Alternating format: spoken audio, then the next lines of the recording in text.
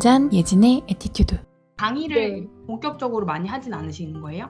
네, 요즘은 많이 하지는 않아요. 그럼 요즘은 안 하시면 기존에는 조금 하시면 어떤 거 하셨어요 강의를? 그러니까 교사 교육 같은 것 쪽으로. 교사 교육. 네. 그러니까 장애인 부서에서 교사를 하고 있는 선생님들한테 교육을 하는 거죠. 비장애인한테 장애인을 알리는 그런 강의는 했었어요. 그러면 강사님 장애인 인식 개선 교육 강, 자격증도 있으세요? 네. 그 한국 장애인 고용공단 자격증으로. 아, 그거는 없어요. 그건 제가 이제 따려고요. 그냥 빨리 민간으로 따셔야겠어요. 있어요. 아, 왜냐면 그거 강사님은 어, 장애인 관련된 강의를 하신다면 반드시 외부 강사가 따야 되는 자격증이에요. 그거는. 아, 그래요? 근데 외부에서 그 이제 일반 민간 기업에서 네. 아카데미에서 따는 거는 효력이 없어요. 아, 그럴 것 같아요. 한국 장애인 고용공단에서만 따셔야 돼요.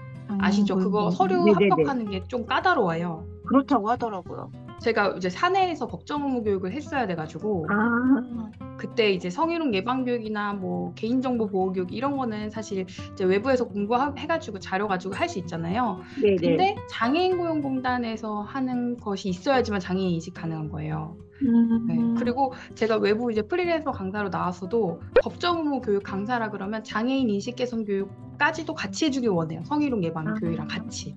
그렇기 때문에 장애인 인식 개선 교육 하려면 무조건 그 공단에서의 자격증이 필요했어. 그래서 한 달 동안 음. 트레이닝 받았거든요. 서류도 합격하고. 아, 근데 그거 한 번 하시면 계속 갱신만 하면 되니까 계속 지원을 하세요. 장애인이라는 또는 장애라는 이 하나의 컨텐츠에서 뻗어나갈 수 있는 게 너무 많아지는 거죠. 일단은 아까 말씀드렸던 장애 아이들을 위한 뭐 미술 치료나 미술 심리 쪽으로 연결하고 컬러 쪽으로도 연결할 수 있는 거. 두 번째는 장애 아동을 둔 부모들, 그렇죠? 음. 또 하나는 장애 아이들을 뭐 이렇게 가르치는 교사나 뭐 센터에 계시는 분들 담당자들 기업에서는 장애인 인식 개선 교육까지도 가능. 얼마나 어, 좋아요. 되게 많네요. 공통 컨텐츠는 하나예요. 뭐라고요? 음, 장애. 장애. 이, 거 하나의 컨텐츠로 강사님이 할 수 있는 게 너무 많아요. 그러네요. 너무 좋잖아요. 강사 이렇게 컨텐츠가 있으면 당장 시작할 수 있죠. 나는 이제 의욕이 넘쳐. 근데 의욕만 넘치면 안 되죠. 제 책 뒷부분에 영업하는 방법이 있어요. 그 영업하는 방법대로 그대로 따라하세요. 근데 아. 이제 거기에는 몇 가지 센터로만 대표적으로 나와 있지만 강사님이 교사들 대상으로 했을 때 그 센터가 뭐 예를 들면 어느 어느 뭐 다문화 가정 지원 센터다. 건강가정 네. 지원 센터다. 뭐 예를 들면 그럼 전국의 건강가정 지원 센터에 메일을 돌려야 돼요. 강사님의 강의 프로그램과 아까 말했던 내가 17년 동안 뭘 했고 상담했고 그리고 내가 가지고 있는 경험과 컨텐츠를 할 수 있는 나의 프로그램과 강사 프로필까지 네. 그렇게 해가지고 PDF로 완성을 해서 그리고 메일로 또는 직접 발로 뛰어서 가셔서 영업하셔야 돼요.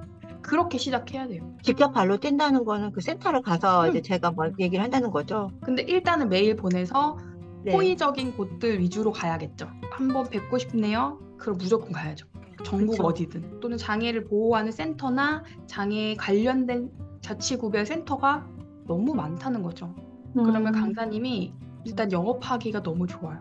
큰 데를 먼저 뚫으세요. 예를 들면 강남구 뭐, 뭐 강북구 뭐 예를 들면 이런 거죠. 제가 자- 장애 쪽은 잘 모르겠지만 시니어들 대상으로 할 때는 50 플러스 센터 음. 그게 이제 자치구에서 운영한 센터인데 그게 이제 구별로 있어요. 영등, 포구, 노원 뭐 구별로. 근데 그 윗단계가 있단 말이에요. 서울시 50 플러스 센터. 그러니까 그거를 아우르는 윗단계 센터가 있어요. 그럼 거기 메인을 먼저 먼저 잡으세요. 그러면 거기에다 메일 담당 부서 같은 데 찾아보시고 교육 뭐 신청하는 데가 있으면 무조건 거기다 신청하시고. 거기서부터 시작하게 되면요. 되게 신기한 게 센터별로 소문이 나요. 저 강사님 강의 진짜 좋았어. 그러면 센터 담당자들이 구별로 추천을 해줘요. 또는 서로가 서로의 사이트가 있기 때문에 노원구에 있는 담당자가 영등포구에 있는 사이트 보면서 어 이 강사님 작년에 여기 했었네? 어 우리 노원구도 한번 모셔볼까? 이렇게 연락이 와요 그래서 일단은 메인으로 가시거나 또는 내가 좀 가까이 할 수 있는 구라던가 아니면 전체적인 사이트를 보고 어, 내가 할 수 있는 컨텐츠를 좀 더 밀어주는 구 같은 게 있으면 그쪽을 좀 집중적으로 영업을 하시면 훨씬 더 좋겠죠.